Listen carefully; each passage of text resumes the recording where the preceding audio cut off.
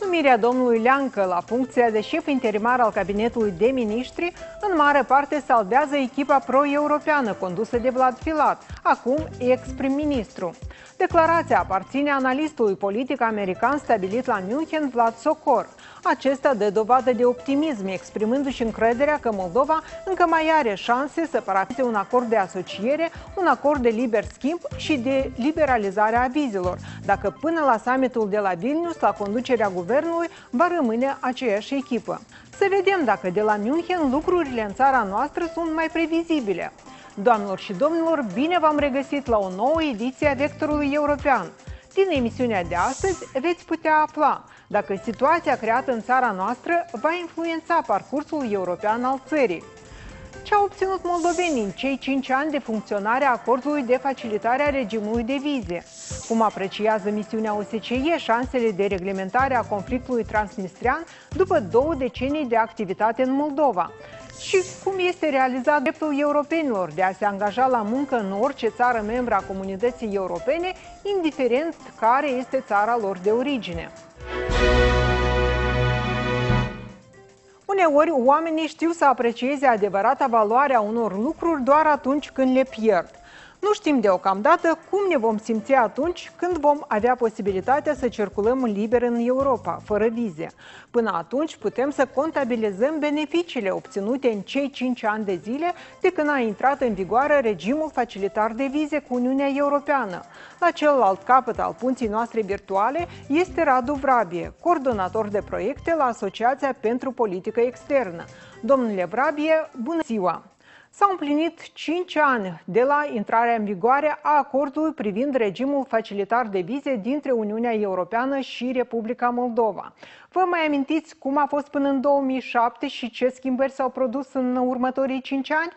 Aș porni de la sentiment și de la uh, trăirile oamenilor, probabil, pentru că până în 2007 rata de refuz era una mai mare decât uh, o avem acum plus că uh, anumit număr de oameni, o categorie de oameni care circulă destul de des în Uniunea Europeană, uh, trebuiau să treacă aceleași condiții pe care uh, treceau uh, uh, deci în, în comun.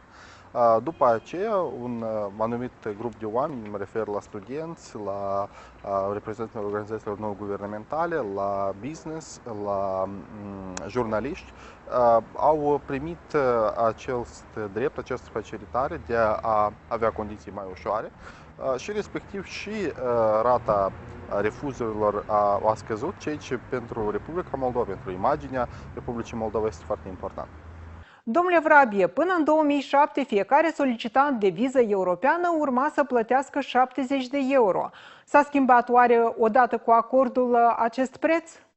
În primul rând, costul vizei a fost uh, redus în jumătate, deci 35 de euro, plus la acea categorie de oameni, la, care, la acea categorie de cetățeni la care m-am referit, uh, această uh, taxă fie a fost scoasă din, din start, fie era returnată ulterior de către cei care invitau persoanele, companiile care invitau din, din Uniunea Europeană. Până în 2007, fiecare solicitant de viză europeană urma să achite 70 de euro.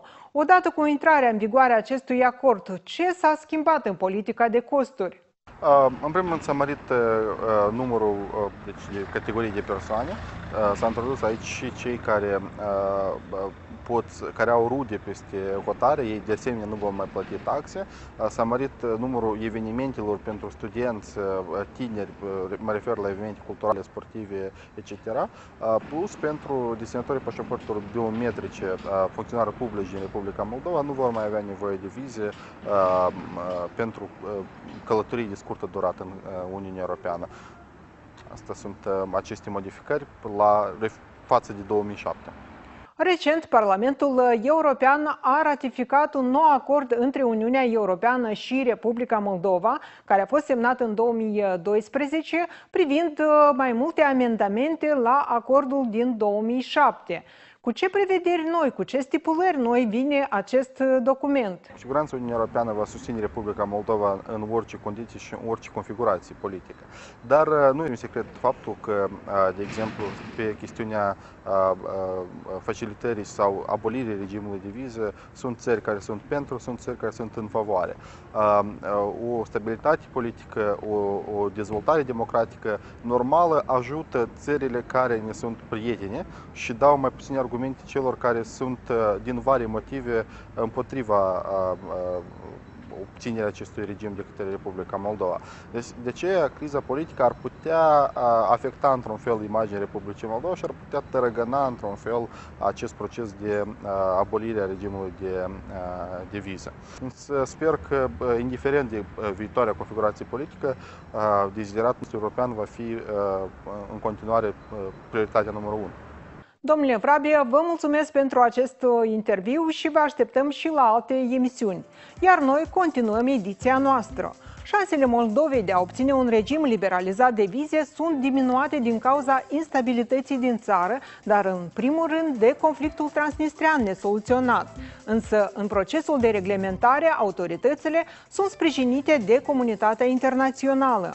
Două decenii la rând, soluțiile pentru mai multe probleme ce țin de relațiile dintre Chișinău și Tiraspol, situația în zona de securitate, dar și procesele de democratizare a societății noastre sunt căutate cu implicarea activă a misiunii OSCE în Moldova.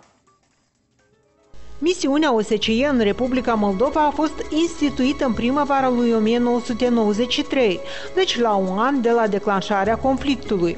Chiar dacă decizia privind încetarea focului a fost atinsă încă în vara anului 92, relațiile dintre cele două maluri ale Nistrului rămâneau tensionate. Misiunea OSCE promovează ideea unor întâlniri directe între autoritățile de la Chișinău și liderii de la Tiraspol, mediind dialogul între ele. În în paralel, erau întreprinse măsuri pentru monitorizarea armamentului stocat în depozitele de la Colbasna, transferul lui în Rusia sau utilizarea celui netransportabil. Una din realizările de care suntem cel mai mândri este retragerea a 23.000 de tone de muniție expirată din depozitul de la Colbasna. Au mai rămas încă 20.000 de tone și avem anumite așteptări în privința posibilității retragerii cantității rămase, care reprezintă o bombă cu acțiune întârziată. De fapt, aceste muniții reprezintă un pericol pentru sănătatea publică. Pe lângă activitatea de prevenire a conflictului, mandatul nostru mai include o agendă destul de semnificative în domeniul democratizării.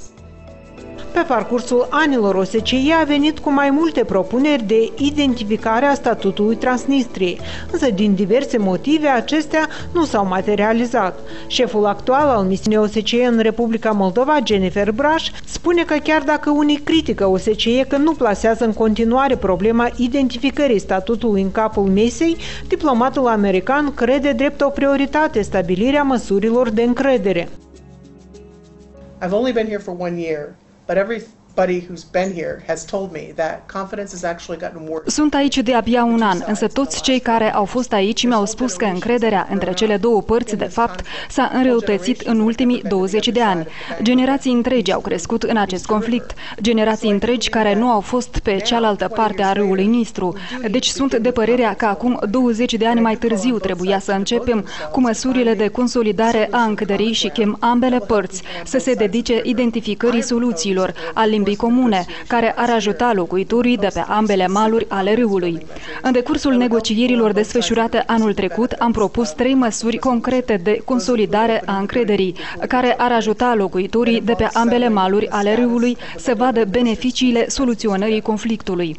Acestea includ deschiderea podului, gura bâcului, Băcioc, identificarea statutului pentru școlile cu predare în grafie latină din Transnistria și retransmiterea posturilor de televiziune de pe un mal pe altul.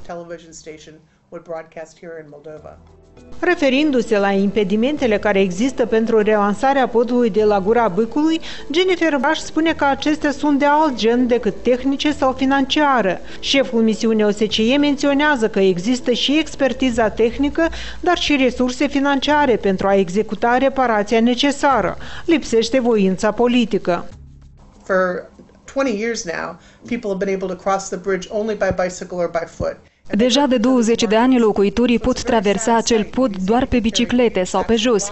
Ei vizitează piețele unor altora. Este un loc foarte trist, acolo unde vezi oamenii cărând saci uriași cu făină pe o bicicletă atunci când automobilul a fost inventat 100 de ani în urmă și ar putea folosi automobilele pentru a accesa piețele unor altora. Și nu doar aceasta, industria de pe ambele maluri ale râului a suferit din lipsa unui pod potrivit pentru a putea transporta transporta bunuri și servicii pe ambele maluri ale râului. Mai mult ca atât, regiunea Mării Negre a suferit din cauza că simplu, coridorul Mării Negri se sfârșește aici, din cauza că podul este închis.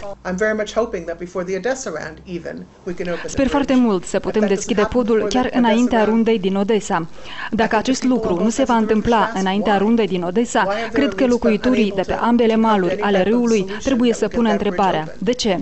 De ce elitele lor sunt în incapacitate capacitatea de a conveni asupra unei soluții care ar permite deschiderea podului.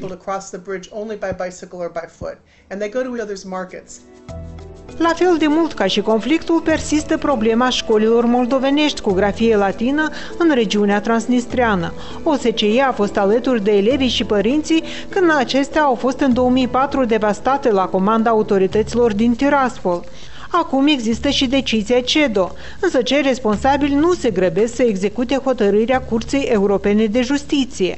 Jennifer Braș, șeful misiunii OSCE, susține că situația semnalată în raportul elaborat de Comisarul ONU pentru Drepturile Omului, Thomas Hammarberg, servește drept bază pentru negocierile care sunt lansate în problema școlilor cu grafie latină.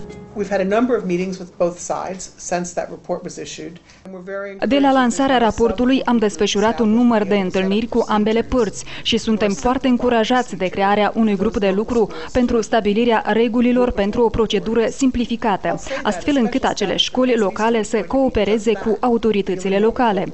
Un statut special pentru Transnistria înseamnă exact acest lucru, colaborarea cu autoritățile locale. Deci ambele părți trebuie să se obișnuiască cu ideea ideea că odată cu înaintarea procesului reformei de descentralizare în Moldova, mai multe decizii vor fi luate la nivel local, inclusiv în privința educației. În cei 20 de ani de activitate a oficiului OSCE în Republica Moldova, Jennifer Braș este cel de-al 12 șef de misiune. Fiind prima și singura doamnă în această funcție, experiența în conflictologia doamnei Braș nu este mai mică decât cea a premergătorilor ei. Ea a activat în timpul conflictelor în statele ex-Iugoslaviei, în perioadele neliniștite din Turkmenistan și în Republica Insulelor Marshall urmărind evoluțiile din aceste țări, dar și din alte state, cum ar fi insulele Filipine, Columbia, unde conflictele s-au soldat cu violență și un număr mult mai impunător de victime, Braș menționează că până la urmă părțile s-au așezat totuși la masa negocierilor. Șeful misiunii OSCE în Republica Moldova crede că șansele Moldovei de a depăși acest conflict sunt nici pe departe epuizate. So there are plenty of examples out there where protracted Există multe exemple unde conflictele prelungite, conflicte violente, sunt soluționate prin negocieri pașnice. Desigur, regretăm orice pierdere de vieți omenești, dar acest conflict, care nu a fost la fel de violent ca în alte țări, trebuie să ia calea unei soluționări pașnice. Sper că acest lucru se va întâmpla într-un viitor apropiat. Alternativa este că locuitorii din această regiune vor rămâne unde sunt sau își vor înrăutăți situația economică. Eu însă vreau ca locuitorii din această regiune să-și îmbunătățească viețile și să trăiască o viață mai prosperă. 2013 a fost declarat drept an european al cetățenilor nu doar în comunitatea europeană, ci și în Moldova. Un proiect de hotărâre în acest sens a fost aprobat săptămâna trecută de Parlamentul țării. Ministerul de Externe, care a înaintat acest document legislativului, spune că își propune și în acest mod să aducă Europa mai aproape. Pentru a aduce procesul de integrare europeană mai aproape de cetățeni, al face mai înțeles, mai cunoscut, pentru a promova valorile europene și comportament european, nu doar în declarații, dar și în comportament de jos în sus sau de sus în jos, urmând decizia Parlamentului European și Consiliului European din noiembrie 2012 de a declara anul 2013 anul european al cetățenilor, La propunerea Guvernului Republicii Moldova a fost elaborat un plan de acțiuni, în elaborarea căruia au participat toate instituțiile și agențiile guvernamentale relevante și a fost implicată plenar și societatea civilă prin, în speță, Consiliul Național de Participare.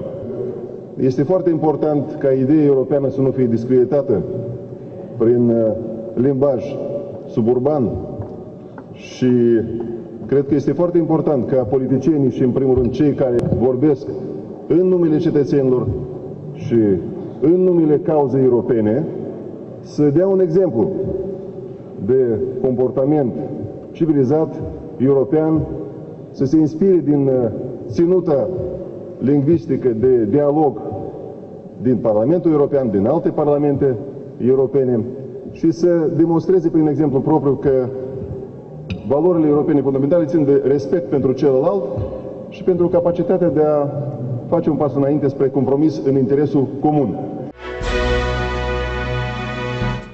Parcursul unui an, cetățenii țărilor Uniunii Europene vor obține mai multă informație despre activitatea instituțiilor europene și despre politicile comunitare comune. În același timp, aceștia sunt invitați să semnaleze despre problemele cu care se confruntă, pentru a beneficia de toate libertățile cetățeniei europene. În colaborare cu televiziunea Parlamentului European, vă vom vorbi astăzi despre cum se descurcă oamenii care locuiesc într-o țară membră a Uniunii Europene, dar doresc să muncească în alta.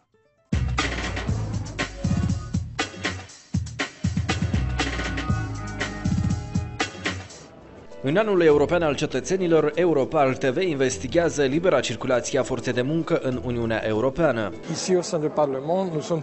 Aici, în Parlament, suntem întotdeauna în favoarea garantării liberei circulații a forței de muncă fără restricții. Suntem în criză, deci în practică întâlnim mai des ca până acum măsuri foarte sofisticate și complicate de limitarea fluxurilor de persoane dintr-o țară în alta. De, de, de gens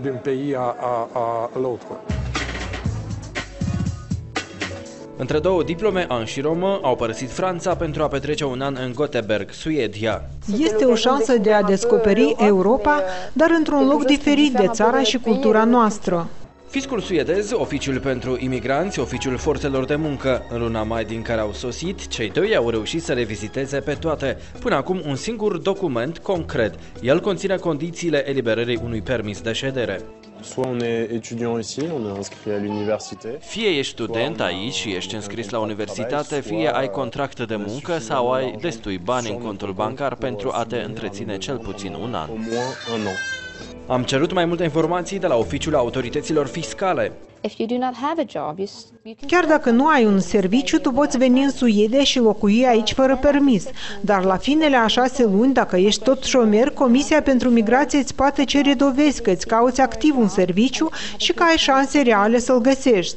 Deci poate fi o problemă dacă nu ai destule fonduri la dispoziție pentru a primi un cod numeric dacă doriți să stați mai mult de un an. Însă nu poți avea un cod numeric personal suedez dacă nu ai un asemenea permis de ședere. Iar fără acest număr de identitate național, cu greu poți duce un mod de viață normal în Suedia. Nu-l cere legea suedeză, ci realitatea. Avem acces la oferte de muncă, dar majoritatea solicită să faci cerere de angajare pe site-ul lor și aici ne blocăm. Nu putem depune cererea dacă nu avem număr personal. Deci, cei doi francezi au probleme să intre în rândul lumii în Suedia.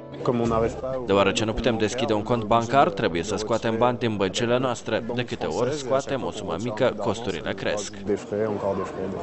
Și ei nu sunt singurii. Jose este spaniol și a obținut un contract pe 6 luni, dar nu este suficient pentru a obține un cod numeric personal.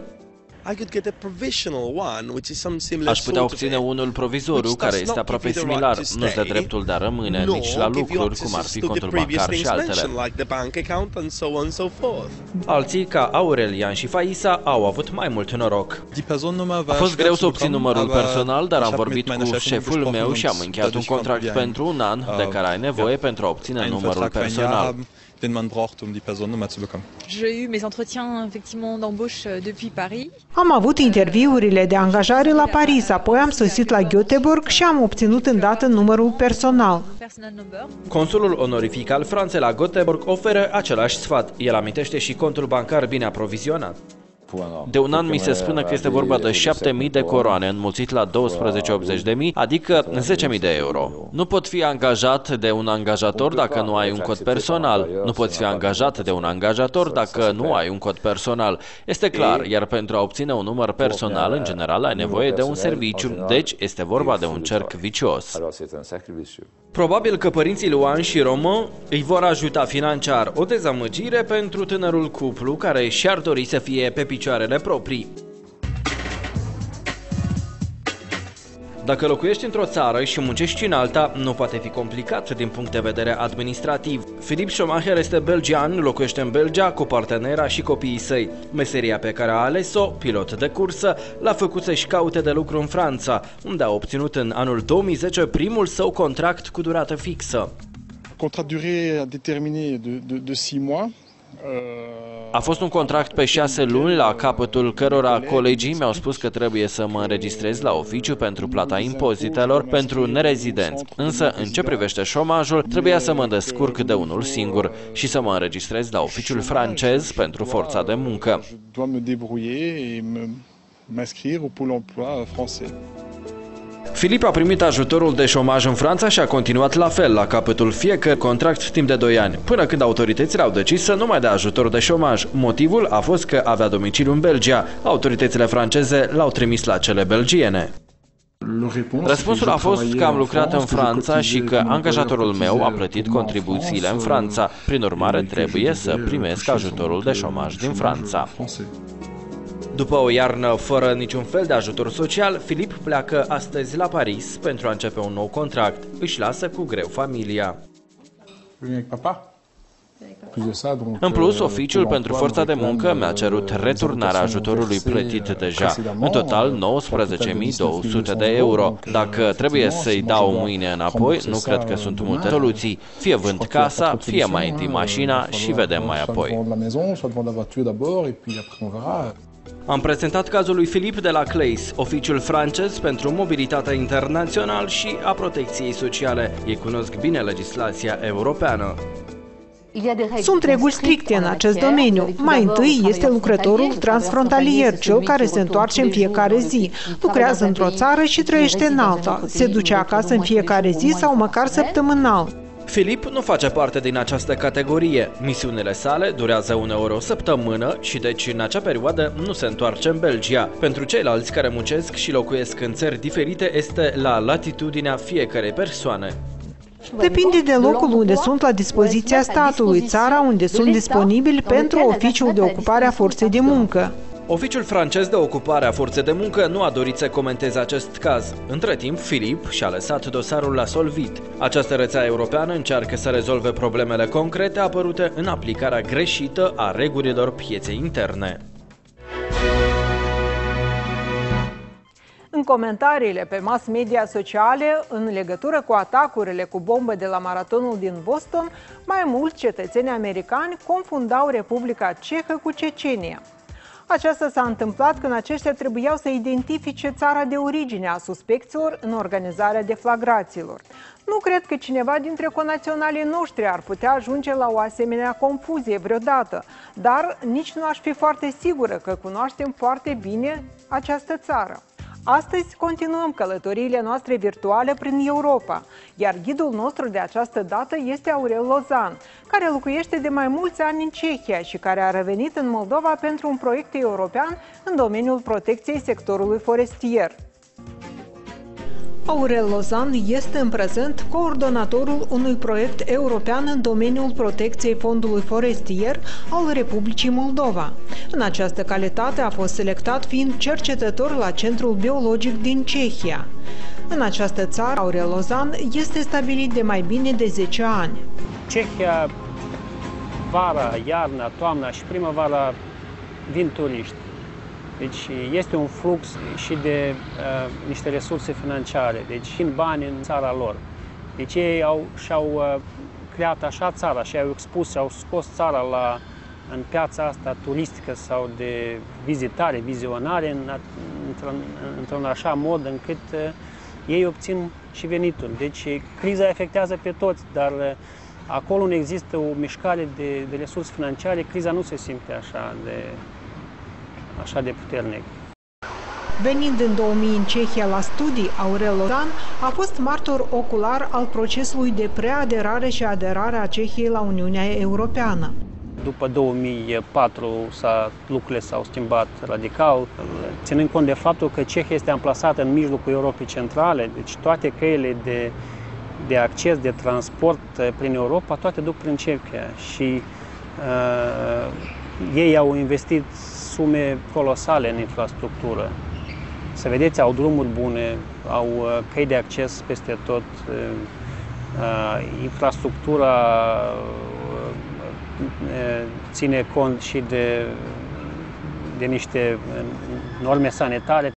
Oficialitățile de la Paga, spune Lozan, a trebuit în această perioadă să-și ajusteze standardele naționale la cele europene și să facă față mai multor cerințe înaintate de Bruxelles. Comisia Europeană, de exemplu, a solicitat modernizarea procesului de ocupare a forței de muncă, uniformizarea limitei de vârstă pentru pensionare și adoptarea legii antidiscriminare, subliniind necesitatea protejării nu doar a persoanelor cu orientare sexuală netradițională, ci și a minorităților naționale, în primul rând a romilor. Statul acordă o atenție deosebită, deci ei sunt egali ca și ceilalți.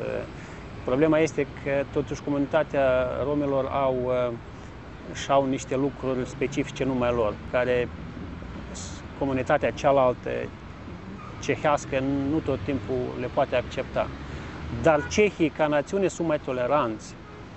Ei nu sunt nu sunt atât de abuzivi, agresivi, deci sunt mai înțelegători totuși. Nu pun emoțiile pe primul plan. O altă condiție rigidă înaintată Cehiei de către Uniunea Europeană, și amintește Aurel Lozan, a fost cea privind combaterea corupției. Dacă să comparăm două țări, Cehia și Moldova, totuși ei sunt la alt nivel. Există o anumită corupție pe care imediat, dacă apare ceva, un, o bănuială de corupție, toată mass media este alertată.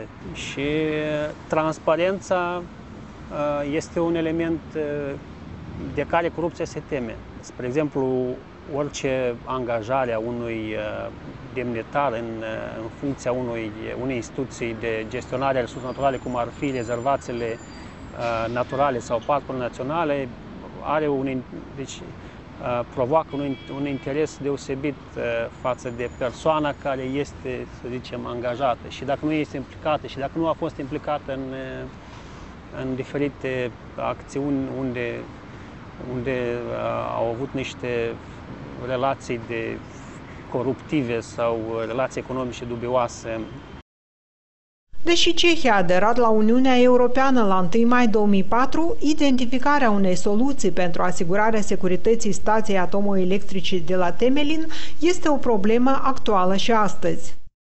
Stația Temelin eh, poate nu cunoaște eh, publicul larg, dar eh, pe timpurile Uniunii Sovietice era gestionată de către, împreună cu specialiștii fostei Uniuni. Acum, după Uh, plecarea Uniunii sau specialistul din fosta Uniune Sovietică, au venit, au preluat-o specialiștii americani.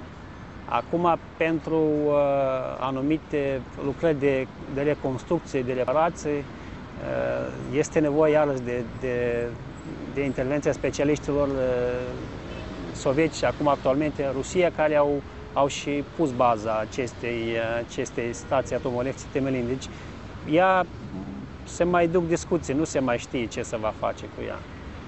În cei peste 10 ani de trai în Cehia, Aurel Lozan a avut suficient timp să-i cunoască pe cehi. Conaționalul nostru susține că multe dintre calitățile acestora ar fi vrut să le aibă și moldovenii. Atunci și viața noastră s-ar putea schimba în mai bine.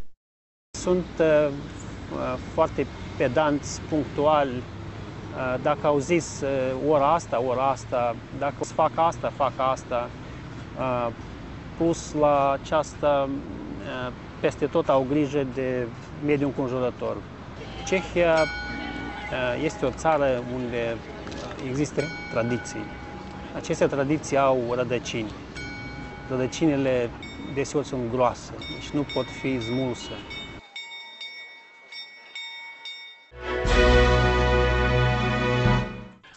Martie curent, Parlamentul Republicii Cehia a votat pentru punerea sub acuzație de înaltă trădare a președintelui Václav Klaus, care a amnistiat în ianuarie mai multe mii de deținuți.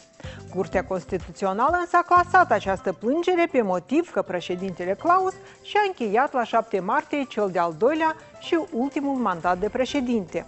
Se mai întâmplă deci în alte locuri ca puterile statului să aibă păreri diferite asupra unor și aceleași subiecte. Contează însă ca decizia să fie luată în interesul statului de drept și nu a grupurilor politice. Aici ediția noastră s-a încheiat. Vă mulțumim pentru atenția cu care ne-ați urmărit și vă dăm întâlnire peste o săptămână. Toate bune!